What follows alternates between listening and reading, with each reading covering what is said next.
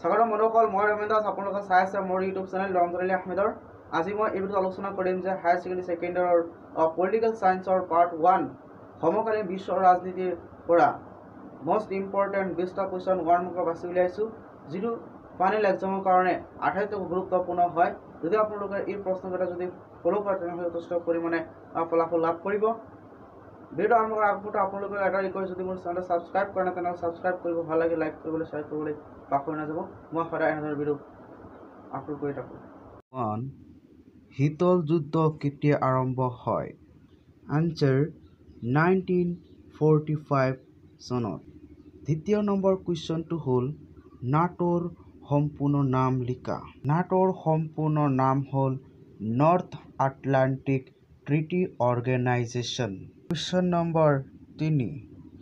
কোন চনত আমেৰিকাই জাপানৰ দুখন চহৰ হিৰোশ্বিমা আৰু নাগাচাকিত আণৱিক বোমা নিক্ষেপ কৰিছিল?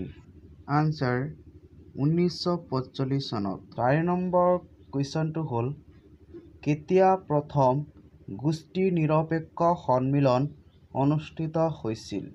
আনচাৰটো হ'ল ঊনৈছশ একষষ্ঠি চনত অনুষ্ঠিত হৈছিল পাঁচ নম্বৰ কুৱেশ্যনটো হ'ল কোনখন দেশ ভাঙি পৰাৰ পিছত শীতল যুদ্ধৰ সমাপ্তি ঘটিছিল?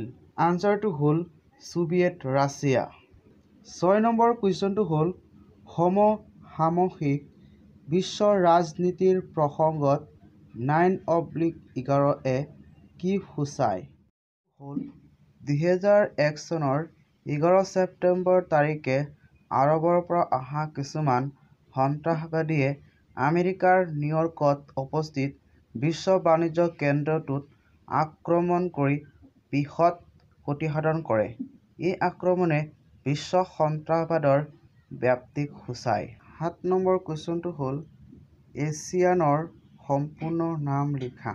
আনচাৰটো হ'ল এছিয়ানৰ সম্পূৰ্ণ নাম হ'ল association of south east Asian nations.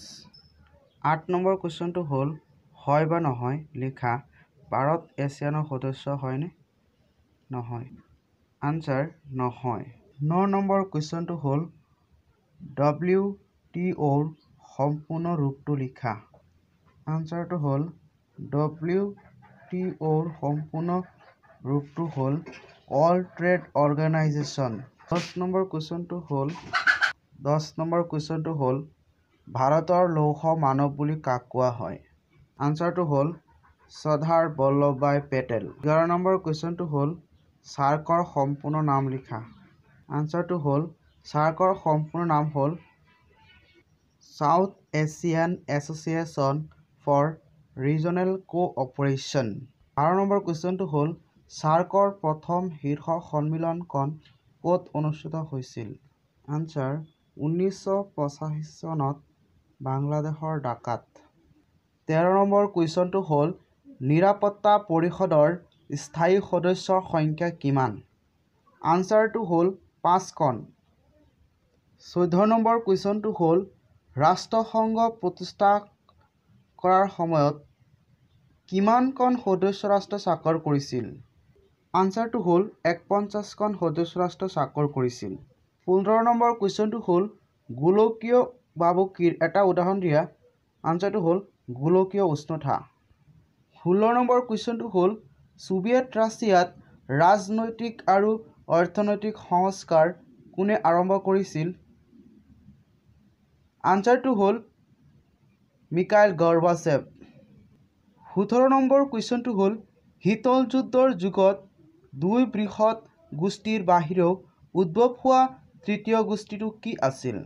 আনচাৰটো হ'ল গোষ্ঠী নিৰপেক্ষ আন্দোলন। ওঠৰ নম্বৰ কুৱেশ্যনটো হ'ল বাৰ্লিন দেৱাল কেতিয়া ভংগ হৈছিল? আনচাৰটো হ'ল ঊনৈছশ ঊনানব্বৈ চনত ভংগ হৈছিল বাৰ্লিন দেৱাল। ঊনৈছ নম্বৰ কুৱেশ্যনটো হ'ল ৰায় সন্মিলন কাৰ্যসূচী টুৱেণ্টি ওৱান নামেৰে বিকাশমূলক কাৰ্যপন্থাৰ এক তালিকাৰ পৰামৰ্শ আগবঢ়াইছিল শুদ্ধ নে অশুদ্ধ লিখা? শুদ্ধ। আনচাৰটো হ'ব শুদ্ধ। লাষ্ট নম্বৰ টুৱেণ্টি কুৱেশ্যন ভাৰতে কায়োটো প্ৰট'কলত কেতিয়া স্বাক্ষৰ আৰু অনুমোদন কৰে? ইয়াৰ আনচাৰটো হ'ব দুহেজাৰ দুই চনত।